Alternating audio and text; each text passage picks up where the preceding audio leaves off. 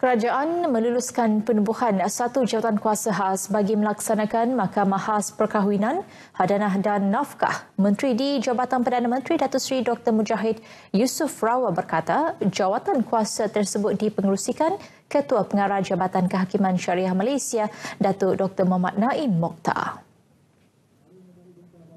Jawatan kuasa khas itu berkuasa menentukan pembekuan harta bekas suami yang gagal menunaikan nafkah kepada anak selepas penceraian. Ia juga bertanggungjawab menyelaras usaha mengesan kes melibatkan Bank Negara Malaysia dan kumpulan wang simpanan pekerja KWSP. Jawatan kuasa khas tersebut dijangka dapat dimuktamadkan hujung tahun ini luluskan dalam jawatan kuasa pos kabinet baru ini dan mereka akan ada engagement dengan semua uh, pemegang taruh. Yang paling utama ialah bank negara dengan KWSP sebab dia ada satu clause iaitu membekukan aset ataupun harta atau duit ringgit di bank mesti ada di sana uh, orang kata akta di dalam uh, bank negara itu yang membolehkan kami melakukan demikian. Beliau berkata demikian pada Majlis Jamuan Aidilfitri 2019 Parlimen Parit Buntar di Dataran Kerian Permai.